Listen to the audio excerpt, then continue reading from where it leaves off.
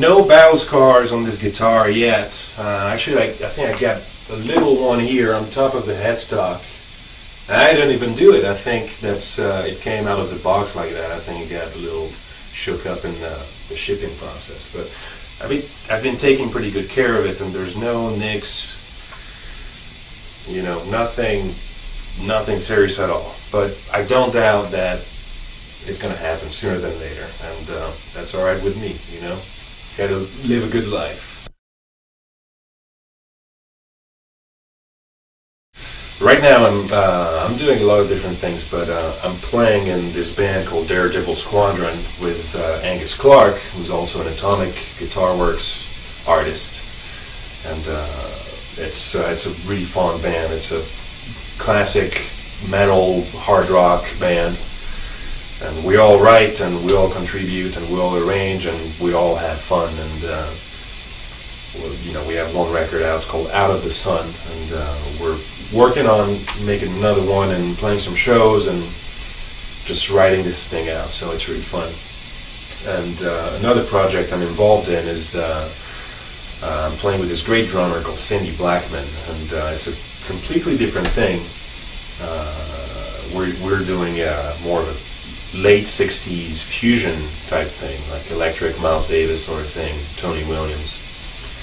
and this is great too. This is a this uses a completely different part of my brain, but this is not very scripted at all. This is mostly, you know, improvisation, whether, you know, on a bass line or chord changes sometimes. Sometimes we just kind of go, you know, and we play for a long time. And uh, we've been playing in Europe and in the States everywhere and, you know, all around the world. So it's, uh, it's been really fun and it's always, you know, wonderful musicians. So, and I also play with a band uh, called Stratospheerius out of New York City with a great uh, violin player called Joe Deninzon.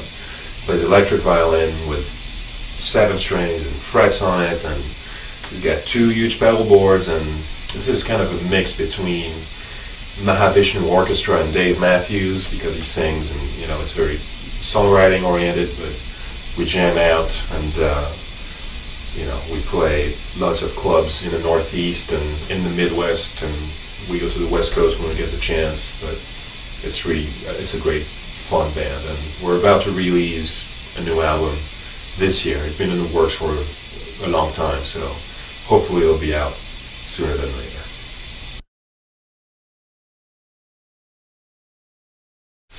Feel I've been pretty pretty fortunate uh, so far in my in my musical career, and uh, I'm definitely I'm grateful for all the opportunities I have. But uh, if I had to pick an highlight, I would say um, we we did a tour with Cindy Blackman uh, in Europe uh, a year and a half ago, a three week long tour with you know the the tour bus and all that stuff, and it was it was kind of insane, and we played 20 shows in 21 days, and it was pretty hard, but it was it was great. And she's an awesome musician, and I was sharing the stage with her and uh, another guitar player called Vernon Reid, who also plays in Living Colour.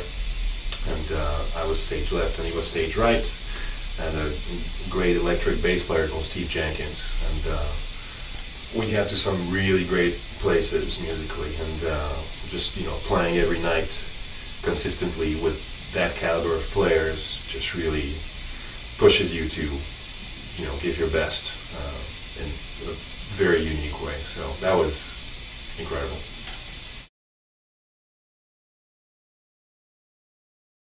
Really trying to focus on uh, getting my own album together too. Uh, problem is I don't really know what to do. so I don't know if it's going to be instrumental, if it's going to be, um, you know, guitar oriented or more singer songwriter oriented and you know I can't really sing so that's going to be challenging. So you know who knows? But i think I've been thinking about it. I'm trying to zero in on something and narrow it down and, and do something that will be interesting